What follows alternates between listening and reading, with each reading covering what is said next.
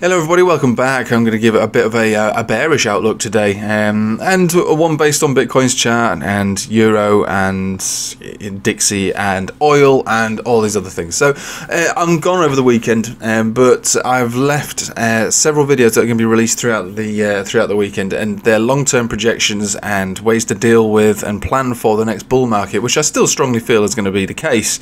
Uh, preparations should be made for anybody who wants to take part in uh, in a bull market market and getting in at the bottom, uh, trying to time the market as best as possible for an investment perspective is always going to be the best. So the, these these videos coming out this weekend should should help you choose your platform, choose your um, you know what it is you're going to do. And I'm not I'm not laying out what coins to buy, but there's certain ways that you want to think about dealing with the bull market. So it's a particularly bullish weekend when it comes to my videos. But let's let's uh, let's start this Friday, unfortunately, with a bit of a bearish outlook, okay?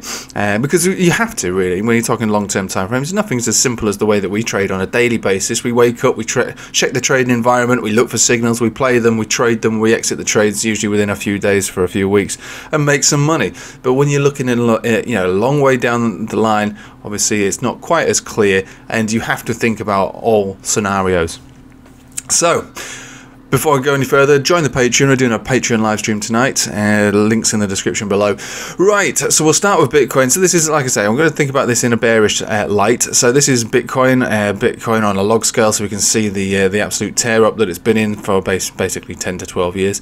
And we've had um, bearish divergence on the monthly. We've spoken about this in the past. Each peak uh, having bearish divergence. That would normally lead to something different taking place as we uh, get the third drive, which would mean probably a, a, deeper consolidation. Now, I make the case that we're already seeing that deeper consolidation. If we turn these indicators on, we can see that we're breaking down below the 20 uh, weekly moving average, something we've never done before. We've poked our head a little bit further uh, down there, but we've basically reaccumulated on the 20 weekly at the end of a bear market. Now, we saw the same sort of thing taking place, I would say, here on the bull market, which is something that we'd never really closed below in a bull market. So it is a different. Um, the, the the the chart has been different throughout this bull market, so this bear market could also be different too. Well, it certainly is different. This uh, green 50 exponential on the weekly, uh, historically in a bull market, had never been closed below. But each year we spent a little bit of time below it. Um, so it's definitely been different but we can make the case that the bear market looks different also. Is that the three drives of bearish divergence on the weekly on the monthly sorry playing out? Maybe it is. Maybe it is. Um, where's the low though? That's that's the question right? I made a video a few days ago speculating that the low has a very good chance of bottoming around 14,500 or so. However if that were to break down for whatever reason then serious lows can be formed. And we spoke about this in a video maybe a few weeks ago uh, where you know we could seriously entertain all the way back down to square one or maybe lower so like uh, for clickbait value, three thousand dollars a Bitcoin. Uh, but yeah, I mean anything is technically possible from you know, like I say, a, a, broader economic environment, which is not looking particularly good. So we all know that the Dixie's been on a bit of a tear up. We were talking about how this, yeah, the, the Dixie, the dollar index, basically was going to be bullish throughout all of this year. We talked about that last September, pretty much called it in September, said it's going to happen.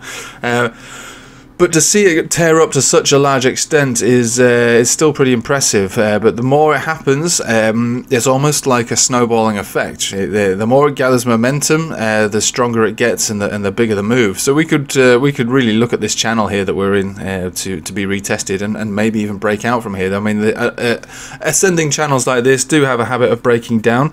Uh, but thus far, it's not broken down. But uh, we could be looking for a rejection around the. Well, it depends when we get there, but yeah, the the, the, the 116, 117 maybe. That's what this channel would suggest, um, and then maybe back down. You know, below 100 over a few year period though look this is a monthly so we're talking about you know maybe the rest of this year into next year marching on through up to these levels and then at best if you can you know if you could hope for the best you know back down to the uh, to, you know to the to the mid 90s around 2025, which would mark, I suppose, the next bull market top for Bitcoin. I mean, that's all a cyclical event. Now, yeah, that that's that would make sense. But yeah, we're speculating over years here, aren't we, as to what's going on? So you can understand, um, you know, how yeah, this is kind of difficult to do, and it's all very much extremely speculative. Now.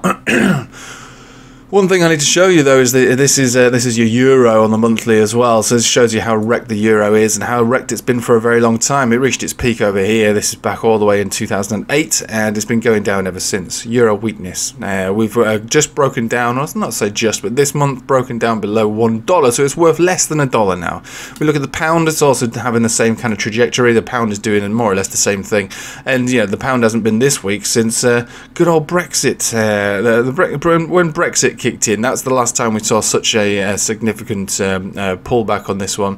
But there's been a variety of reasons why the dollar is just getting weaker and weaker and weaker versus its um, its American cousin over here. I mean, you know, back in the glory days in 1972, two two dollar sixty five. Those were the days.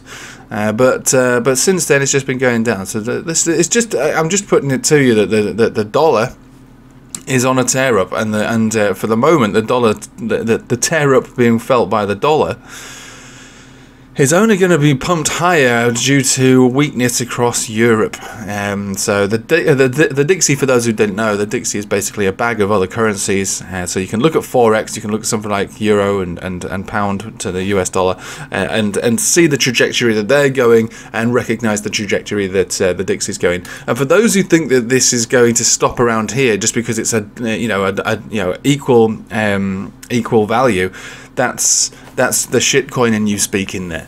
Uh, that's not really how it works. Uh, what we see is a continuation of a downtrend here and a speeding up of a downtrend. For what reason? Well, for geopolitical reasons. The sanctions that have taken place with Russia have almost equal measure of of, um, of consequence to the people who are placing the sanctions. So basically, Russia and Europe have economic ties, you know, and uh, and it's come back to bite Europe as as completely as expected. The only way, the only way that we'll see a reversal in in the in the in the in the euro or in the pound a significant reversal would be either the lifting of sanctions, which seems highly unlikely, um, highly unlikely, or some really radical uh, monetary policies from the ECB and Bank of England, which again is uh, pretty unlikely that they're going to be able to uh, outpace the you know the Federal Reserve uh, in, in, their in, in you know in the way that they're going to tackle inflation. It just seems unlikely because their economies are smaller, they're weaker, they're already uh, they're already feeling the burn of these sanctions. America's in in in many ways insulated against those sanctions. You, you know they've got their own economy, they've got their own stuff going going on, um, and they, they don't feel the wrath of the sanctions like Europe do. So uh, this is just probably going to get worse. And uh, you know, for those who who, who uh, think it's not possible, uh, you know, something like the euro could be down. You know, this time next year we could we could be seeing another fifty percent drop on the euro. You think that that's mad, but it really is not mad at all. I mean, that that is not unlikely. Like I say, the situation that is allowing for this to take place. This is a descending chart anyway. This is constantly going down, lower lows, lower highs, all the way down since what two thousand well, maybe not 2000, since, since 2008. So all the way down, consistently, all the time, and now it's picking up pace because of geopolitical events, their own sanctions. Cut your nose off to spite your face. No, I'm not here to give any kind of political standpoint or anything. I'm just letting you know the reaction of those uh, of those politics um, on the on the chart. And until something changes, this is going to is going to continue this way and pick up pace because the the deeper it drops, the worse it gets. It's like a it's like a snowball effect, you know. Um, it, it's, it's only going to get worse. So to to look at the euro and the pound, unfortunately, I think the pound, if if, if we carry on with this direction with the same sort of monetary policy, with the same kind of sanctions, and the, there's there's no reason for the pound to stay above parity. Do you know what I mean? Parity. it's going to stay. It's going to go below a dollar if we carry on like this, which is only going to add fuel to the old Dixie fire.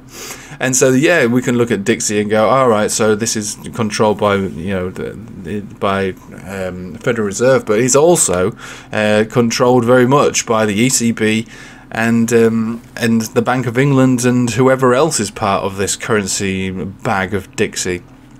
So it's not so much a, a, measure, well, I mean, it is a measure of dollar strength, it's also a measure of international currency weakness. Um, and so we should recognize that. So when we know, we all know that when the dollar, you know, the Dixie goes up, it's bad for stocks or whatever, but uh, there's more to it than that. You know, it might not necessarily mean that everything else goes down, but it, it does, it does lend more uh, more of an argument to the giant the giant move that could take place with the Dixie, which is obviously a very big one. You, might have seen people do this uh, and go, "This is what's going to happen with Dixie because it's broken out and that's the measured move."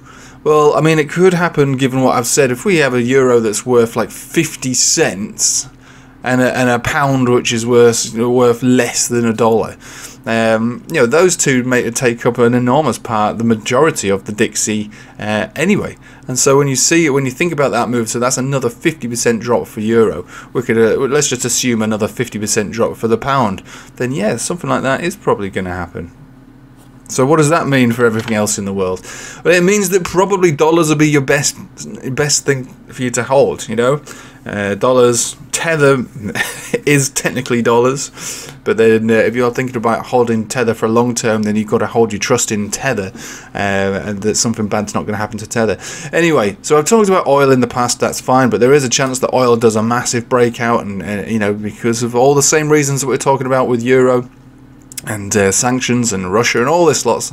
Yeah, that will that that could effectively cause you know an enormous move for oil into the you know 150, and then it's only another 100 percent from there. You back you're up to 300. I know that. Um, Goldman Sachs have predicted uh, something quite as uh, shocking as that if oil were to be weaponized.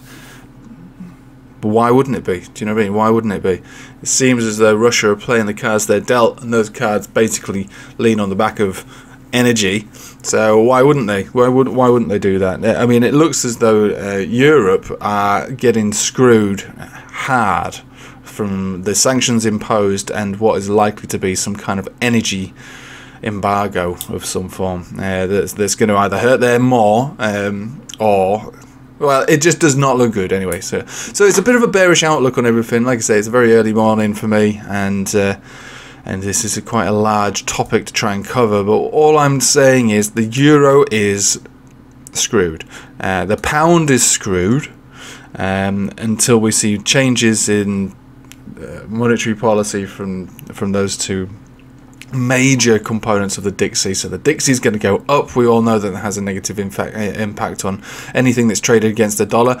The bit Bitcoin has got bearish divergence on the monthly, which again is uh, is is not a good look for it. Uh, and uh, oil, you know, technically has a projection of much higher than where it is right now, and it's all very much interconnected. So as you all know, I've taken uh, I've taken time out from trading this month. Uh, most things are sold apart from my overall hodl bags. But uh, so when it comes to trading, I'm uh, I'm sitting on the sidelines. I'm just going to chill for a bit. I'm going to obviously clearly monitor the market, looking for bottoms, waiting for those bottoms, and, and, and blah blah blah.